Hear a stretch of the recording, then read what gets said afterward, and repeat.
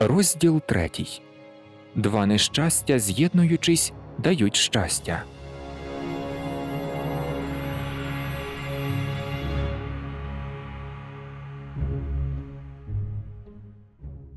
Вранці наступного дня Жан Вальжан знову стояв біля ліжка козети, дивився на неї і дожидав, коли вона проснеться. Щось нове увійшло йому в душу. Жан Вальжан ніколи нікого не любив. Уже 25 років жив він самотнім. Він ніколи не був ні батьком, ні коханцем, ні чоловіком, ні другом. На каторзі він був злим, похмурим, темним і жорстоким, і серце цього старого галерника зоставалося незайманим. Сестра з її дітьми залишили йому тільки невиразну пам'ять по собі, яка нарешті зовсім стерлася. Він уживав всіх зусиль, щоб розшукати їх, і, не спромігшись зробити цього, забув про них. Така вже натура людська. Інші ніжні почуття юності, якщо він знав їх, канули в безодню.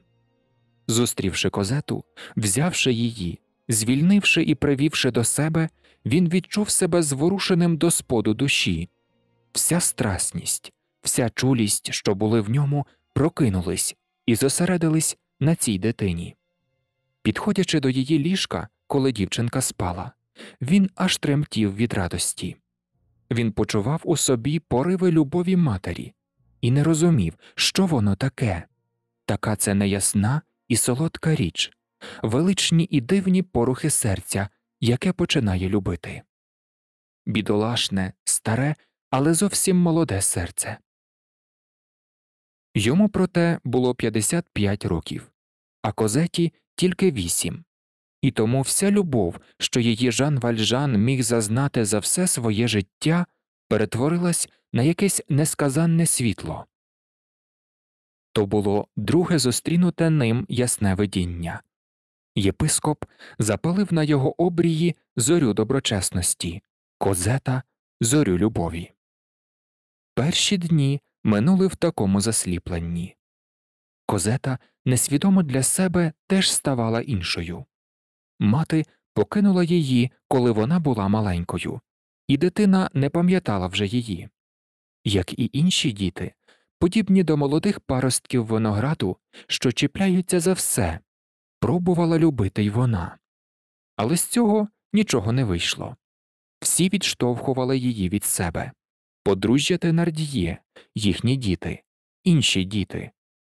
Вона любила собаку, яка умерла, і після того козета не була потрібна нікому і нічому. Страшно сказати, і ми на це вже вказували у козети у вісім років було холодне серце то була не її провина, бракувало їй не здатності любити, а можливості. Отож з перших же днів усім своїм серцем і всім своїм розумом козета полюбила цього доброго чоловіка. Вона відчула те, чого не відчувала ніколи у ній щось розквітало. Добрий чоловік не здавався їй ні старим, ні бідним. Вона вважала навіть, що Жан Вальжан красивий, так само як вважала, що їхній закамарок гарний. Це вплив зорі дитинства, молодості, радості.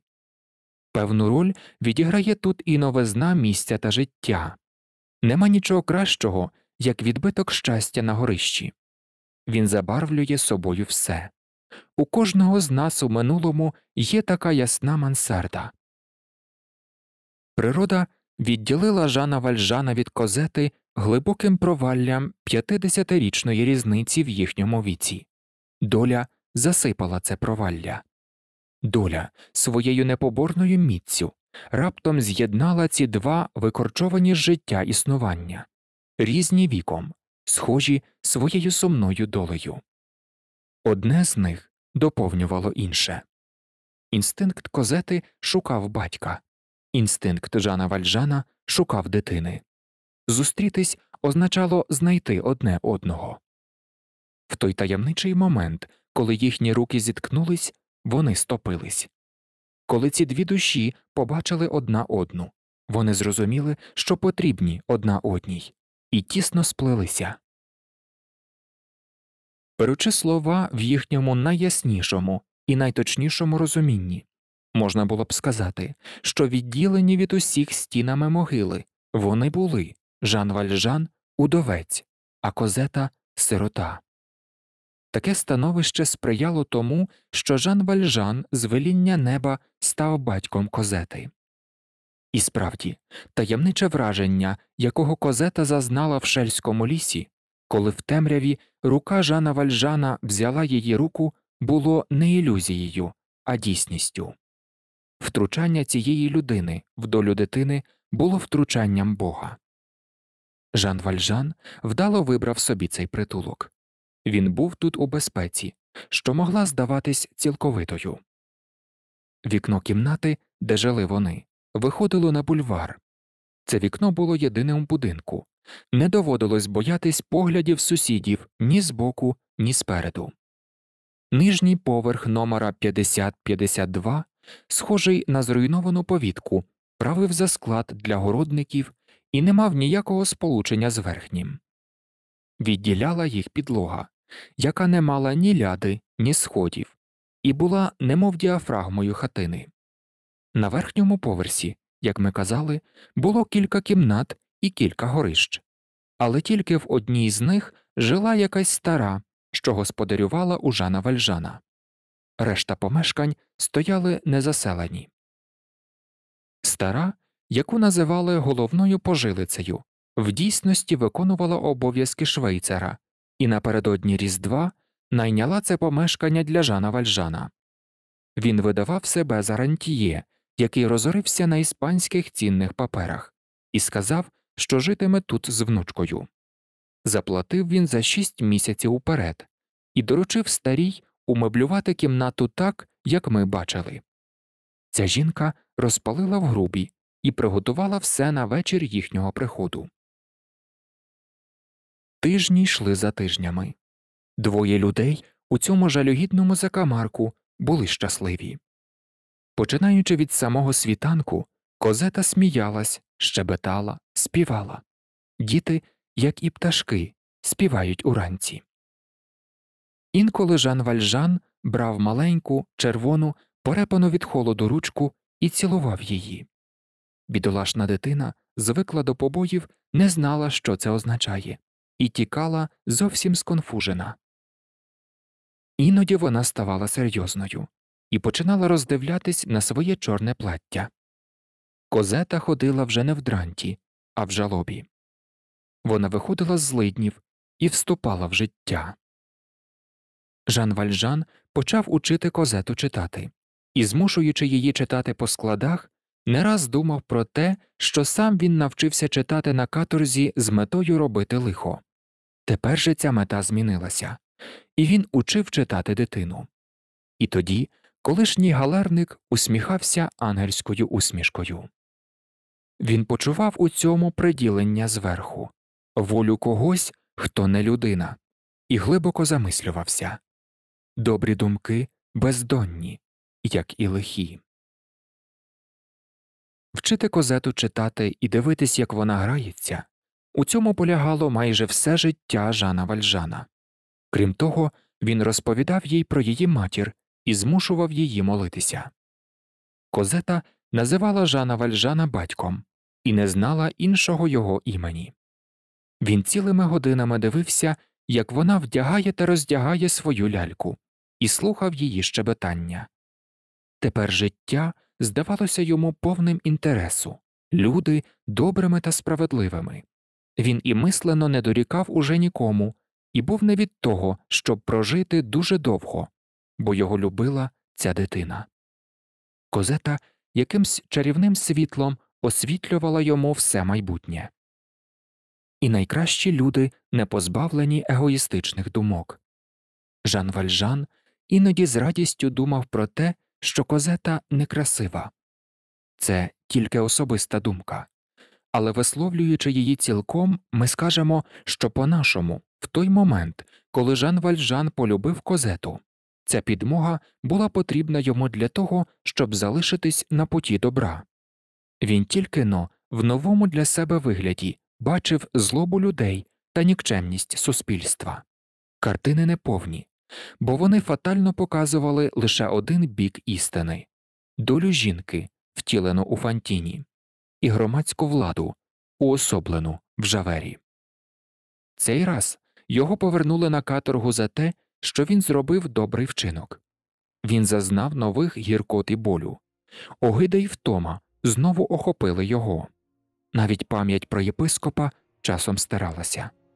Правда, потім образ його з'являвся перед ним знову у сяйві тріумфу, але все ж таки цей священний спогад мерхнув. Хто знає, чи не був Жан Вальжан знову напередодні зневірення та падіння він полюбив і знову став дужим. На горе він вагався не менше, ніж козета він узяв її під свою охорону, а вона його зміцнювала. Завдяки йому вона почала тепер жити, завдяки їй він міг залишатися доброчесним. Він був підтримкою для цієї дитини, а ця дитина була точкою опори для нього. О, невимірна, божественна таємниця рівноваги долі.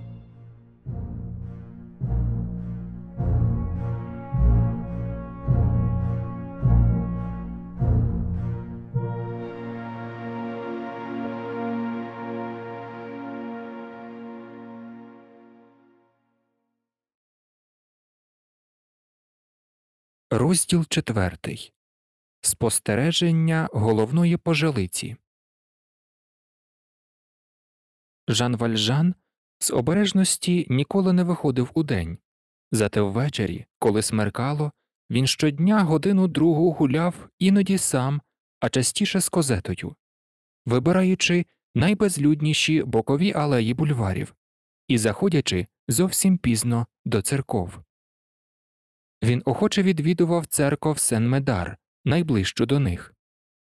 Якщо він не брав з собою козети, дівчинка залишалася старою, але гуляти з ним було справжньою радістю для козети. Годину, проведену з ним, вона не проміняла б навіть на чарівні розмови з Катрін. Гуляючи, він тримав її за руку і розповідав чудові речі. Виявилось, що козета дуже весела. Стара прибирала, куховарила і купувала провізію. Жили вони скромно, правда, у них завжди було досить тепло, але так живуть люди в скрутному матеріальному становищі. Жан Вальжан нічого не змінив в обстановці, яка зустріла їх першого дня, тільки замість скляних дверей до кімнатки козети поставив дощані. На ньому завжди був його жовтий сюртук, чорні штани і старий капелюх. На вулиці його вважали за бідняка, добрі жінки іноді оберталися і подавали йому су. Жан Вальжан брав су і низько вклонявся. Траплялось і йому іноді зустрічати якогось бідолаху, що просив милостині. І тоді, озирнувшися і переконавшись, що їх ніхто не бачить, Жан Вальжан крадькома підходив до нещасливця, клав йому на долоню монету, часто срібну, і похапливо йшов далі. Але в цьому була певна незручність в кварталі його почали називати жебраком, що подає милостиню. Стара головна пожилиця, особа непривітна, уважлива до близьких увагою зависниці, дуже стежила за Жаном Вальжаном, але той і не підозрював цього. Вона була трохи глуха і тому балакуча. Від її минулого лишилося їй два зуби один унизу, другий зверху, якими вона завжди клацала. Вона розпитувала козету, але та, не знаючи нічого сама, могла сказати тільки, що приїхала з Монфермейля. Ця негідниця спостерегла одного ранку, як Жан Вальжан з виглядом, що здався їй незвичайним, увійшов в одне з незаселених приміщень хатини. Котячою ходою стара пішла слідом, і невидима сама почала стежити за ним крізь щілину у дверях. Жан Вальжан стояв якраз проти неї, повернувшись безсумнівно з обережності спиною до дверей. Стара бачила, як він вийняв з кишені гольник, ножиці та нитки. Потім підпоров одну полу сюртука, витяг крізь проріз клапоть жовтуватого паперу і розгорнув його. Стара, жахнувшись, упізнала в ньому тисячофранковий білет. Це був другий чи третій білет, бачений нею за все її життя. Геть перелякана, вона втекла. За хвилину Жан Вальжан підійшов до неї і попросив піти розміняти цей тисячофранковий білет, додавши, що вчора одержав ренту. Де? подумала стара. Виходив з дому тільки о шостій, а державні каси в цей час зачинені. Гублячись у гадках, стара подалась міняти білет, який, збільшившись через коментарі в сумі, переполохав усіх кумась вулиці Вінсен Марсель. Через кілька днів Жан Вальжан без сюртука пиляв у коридорі дрова. Стара господарювала в його кімнаті. Козета любувалась, як пиляють дрова, і стара була сама. Помітивши сюртук, що висів на гвістку, стара оглянула його. Підкладка на ньому була зашита знову. Жінка старанно обмацала сюртук, їй здалось, ніби в полах і під пахвами сховані папери безсумнівно, тисячофранкові білети. Крім того, в кишенях вона виявила ще багато різних предметів не тільки бачені нею вже голки, ножиці та нитки, але й великий бумажник, здоровенний ніж, і підозріла річ кілька перук різних кольорів. Кожна кишеня сюртука була немов складом на якийсь непередбачений випадок. Так мешканці хатини дожили до останніх днів зими.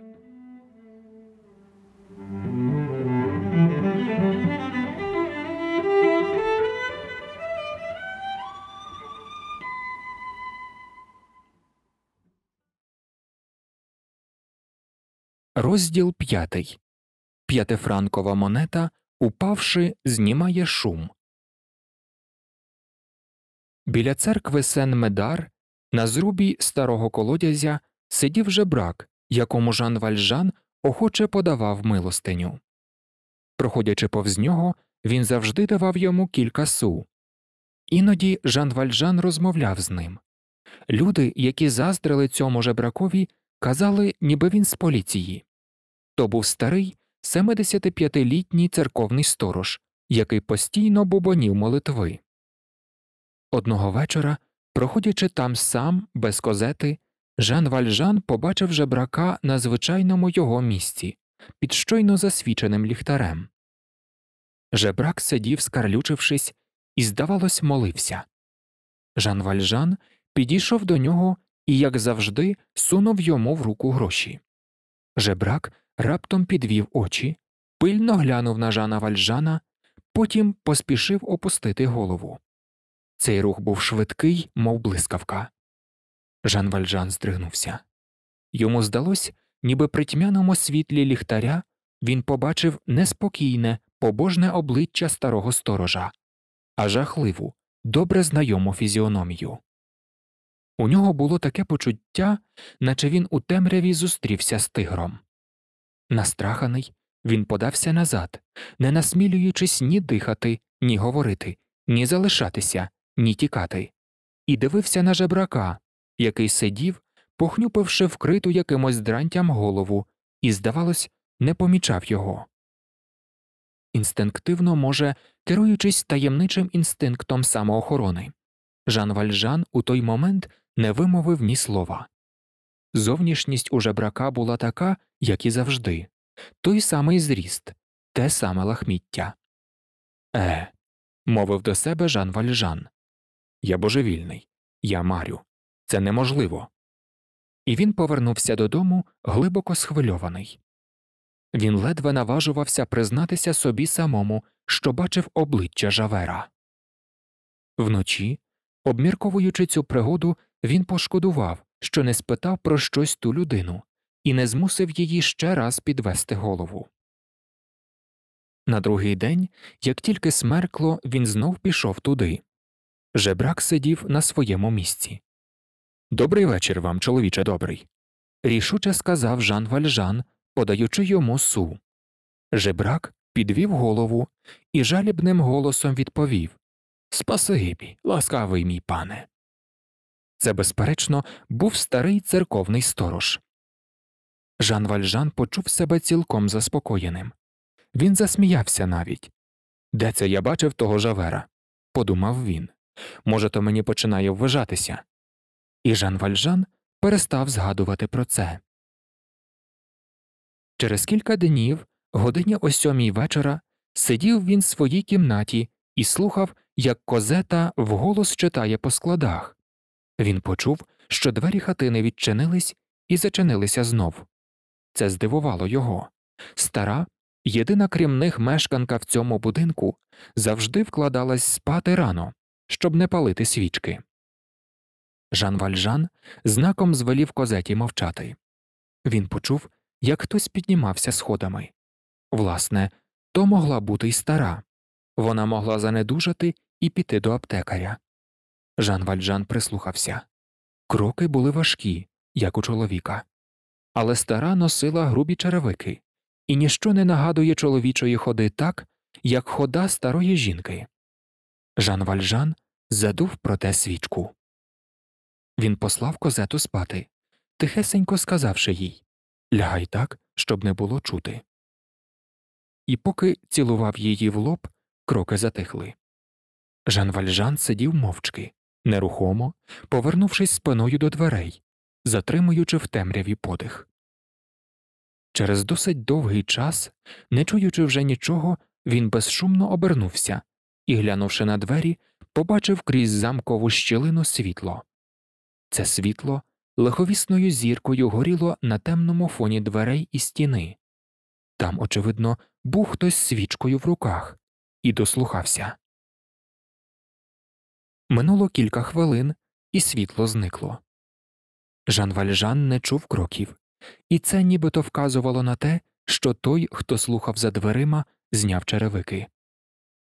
Жан Вальжан, одягнений, кинувся на своє ліжко і цілу ніч не міг заснути. На світанку, коли він починав дрімати від утоми, його розбудило репіння дверей у коридорі. Потім Жан Вальжан почув ходу того чоловіка, який вчора підіймався по сходах. Кроки наближались. Він схопився з ліжка і приклав око до досить великої замкової щілини, сподіваючись побачити того, хто напередодні ввечері війшов у хатину і слухав біля його дверей. І справді, повз кімнату Жана Вальжана, на цей раз не зупиняючись, пройшов якийсь чоловік. В коридорі було ще занадто темно, щоб розгледіти його обличчя, але коли він підійшов до сходів, на нього впало проміння світла з надвору, і Жан Вальжан прекрасно побачив його спину. Чоловік був високий на зріст, в довгому сюртуку і з палицею під пахвою. То була страшна постать Жавера.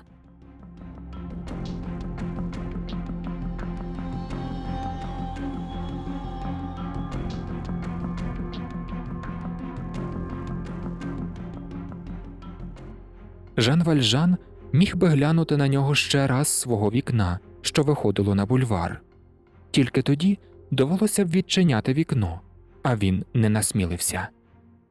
Цей чоловік мав, очевидно, ключ і почував себе у хатині як удома. Хто ж дав йому той ключ, і що означало все це?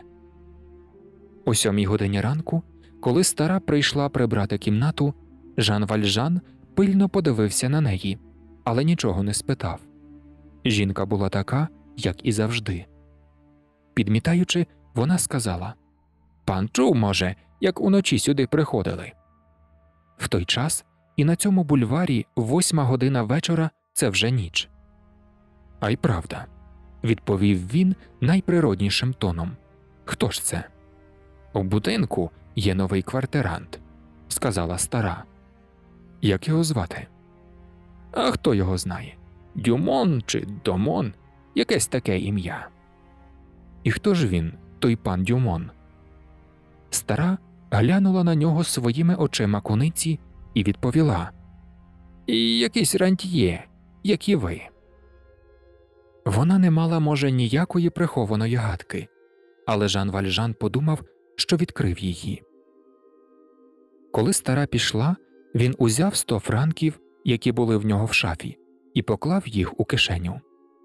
Хоч як обережно провадив він цю операцію, боячись, що його почують, а все ж таки одна монета в сто су вислизнула в нього з рук і шумом покотилась на підлогу.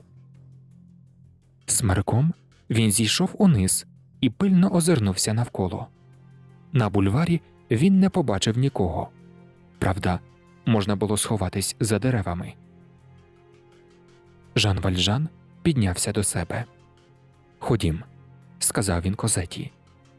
Він узяв її за руку, і вони вийшли вдвох.